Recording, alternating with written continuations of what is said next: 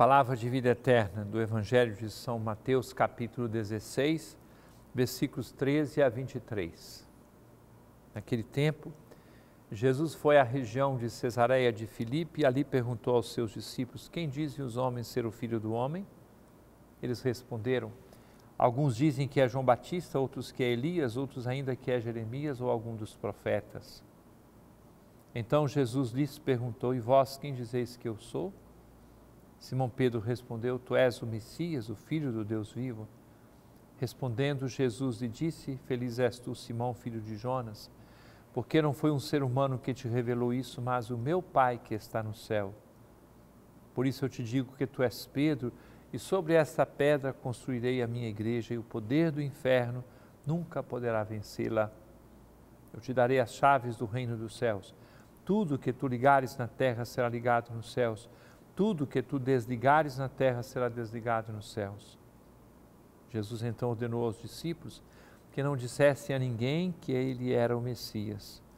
Jesus começou a mostrar aos seus discípulos que devia ir a Jerusalém e sofrer muito da parte dos anciãos, dos sumos sacerdotes e dos mestres da lei, e que devia ser morto e ressuscitar no terceiro dia. Então Pedro tomou Jesus à parte e começou a repreendê-lo, dizendo: Deus não permita tal coisa, Senhor, que isso não te aconteça.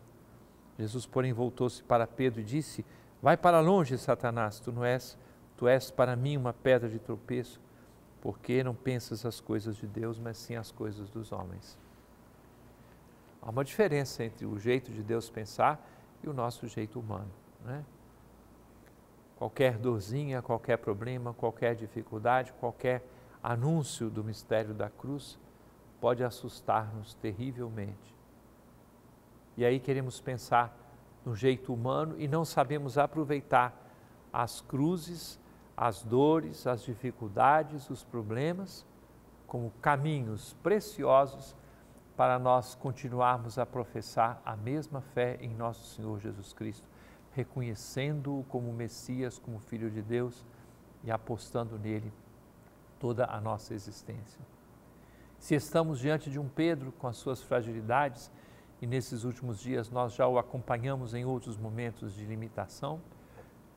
Mas se pensamos em Pedro ou pensamos também nas nossas fraquezas, nas nossas perseguições ou sofrimentos ou enfermidades, os limites que nós temos, nós pensamos em tudo isso, é importante que cada um de nós saiba descobrir o segredo, o mistério que está, a força que Jesus diz a, a Paulo, a força da fraqueza.